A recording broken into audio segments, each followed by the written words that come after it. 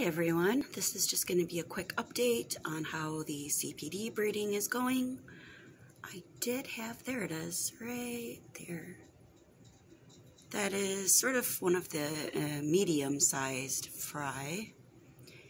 Hanging out in front, waiting to get fed. First though, I want to show you a little bit of my winter wonderland that happened overnight.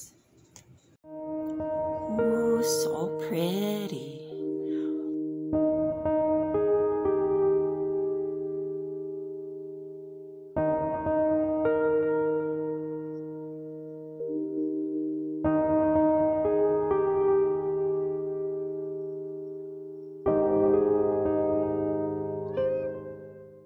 I've got the CPDs from the quarantine tank in a bag. I've just set them in here in the main adult tank.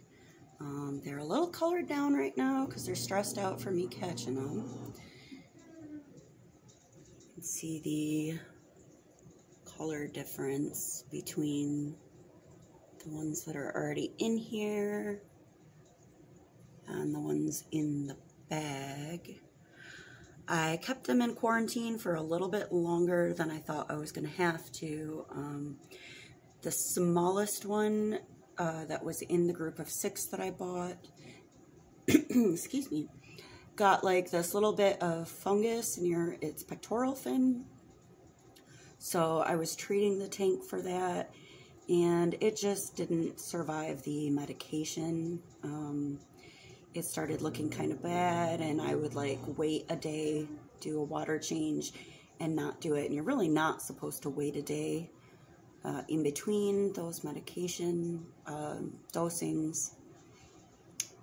And it would get a little bit better, but like I had to keep treating it and it just, it didn't make it. Um, they have colored up a lot since I first got them and I can tell that I have one male and four females in this bag, which is okay um, because my adults, it's a little bit on the male heavy side. Of course, I do have a couple females, but there's quite a few males.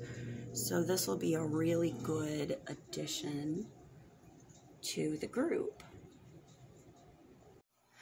I ended up quarantining them for five weeks um, and then I never saw any other, sorry about that bar from the rack. I never saw any other issues from these guys. So I think they are really good and healthy.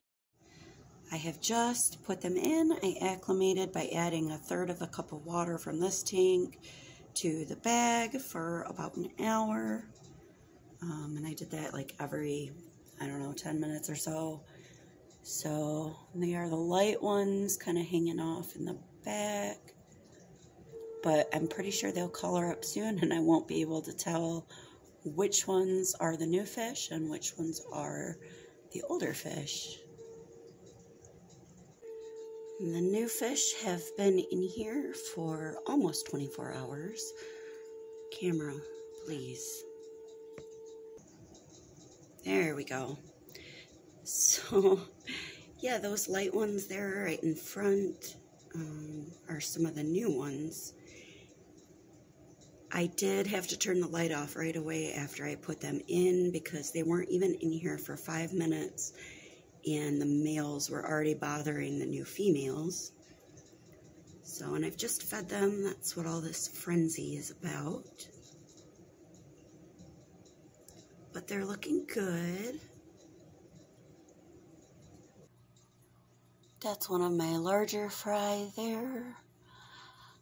I really do think they're growing a lot faster and better not being in the nets and just being out in this tank.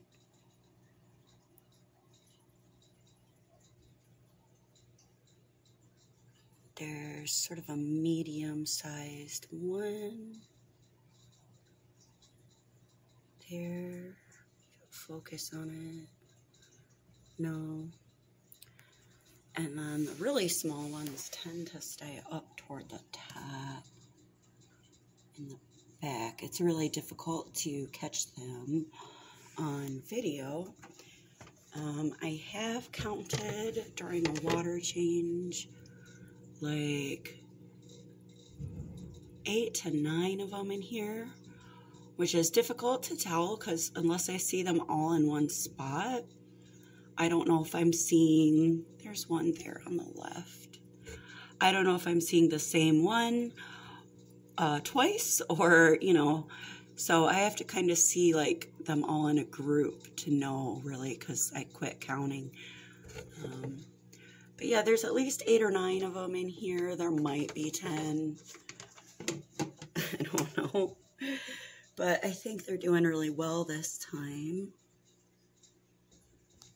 This one here is about the size they got to last time. Um, right before the ones that got it got the uh, S-shaped spinal deformity. So I'm just keeping my fingers crossed this time that that won't happen again. There's a couple of them in here about this size now. And I will just leave you with some footage of the fry. Thank you so much for watching, and I hope everybody is having a great day.